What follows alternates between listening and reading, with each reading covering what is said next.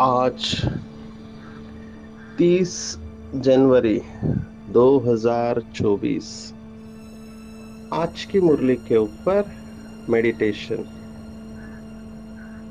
अपने आप को बिल्कुल हल्का छोड़ देंगे।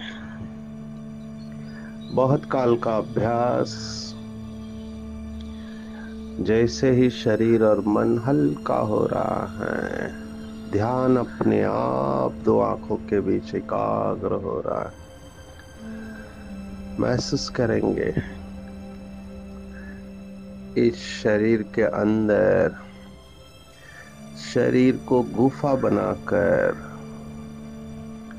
मैं आत्मा इस गुफा में तपस्या कर रही हूँ।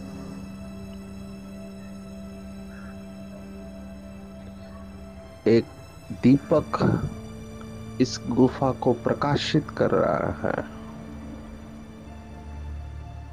और अपने आप पाँच तत्वों की दुनिया से डिटैच हो रहे हैं।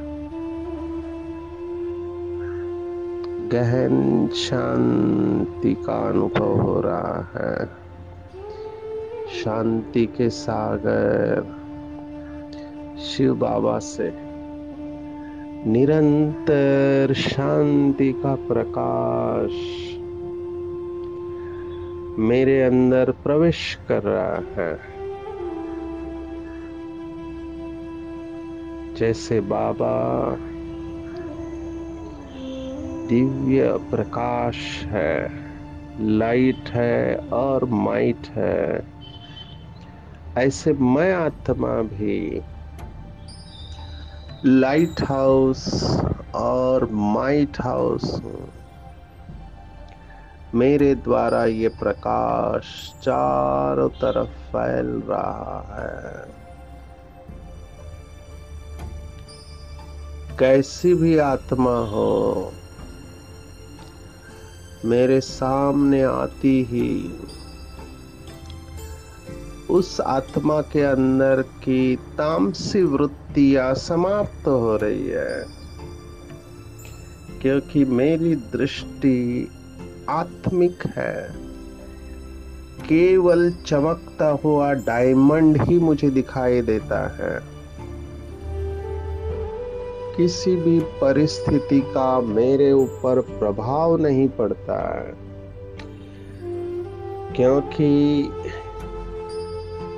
मन और बुद्धि को मनमत और परमत से सदा खाली रखा है। बाबा की दुआएँ मिल रही है, क्योंकि निरंतर श्रीमत पर चलने से और योग युक्त रहने से स्थिति एक रस बनते जा रही है। महसूस हो रहा है कि अब वानप्रस्थ अवस्था है और एक एक सेकंड बहुत वैल्यूएबल है।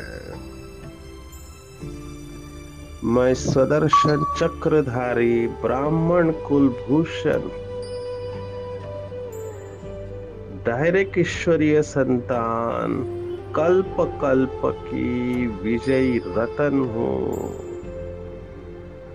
और बाबा मुझे देखकर मुस्कुरा रहे हैं। अपना वरदानी हाथ मेरे सिर के ऊपर रखकर, बाबा मुझे वरदान दे रहे हैं कि बच्चे, आपने कल्प कल्प बाप की श्रीमत पर चलकर योग युक्त बनकर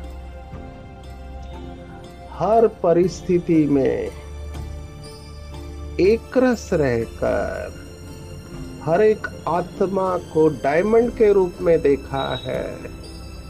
स्वयं को मनमत और परमत से मुक्त रखा है। लाइट हाउस बन अनेक आत्माओं को रास्ता दिखाया है।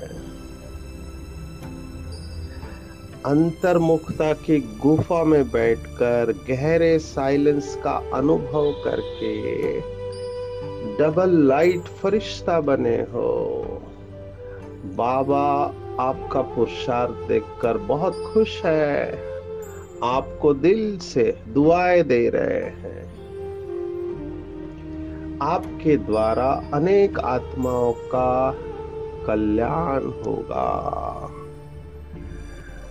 बाबा से दृष्टि और वरदान प्राप्त करके मैं आत्मा बहुत खुश हो रही हूँ। बाबा को दिल से धन्यवाद दे रहे हैं। धन्यवाद बाबा, धन्यवाद।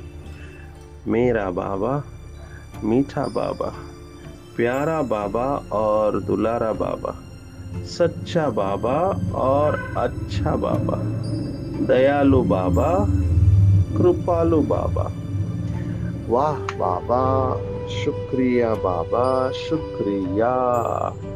अच्छा ओम शांति।